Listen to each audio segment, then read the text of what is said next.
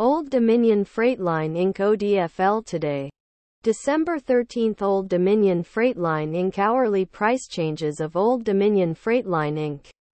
Which closed yesterday at $371.01 and started the day at $369.28. Old Dominion Freight Line Inc. reached maximum $374.83 today. And the lowest stock price was $361.31. Subscribe to our channel to get the latest charts of Old Dominion Freight Line Inc. and other stock prices.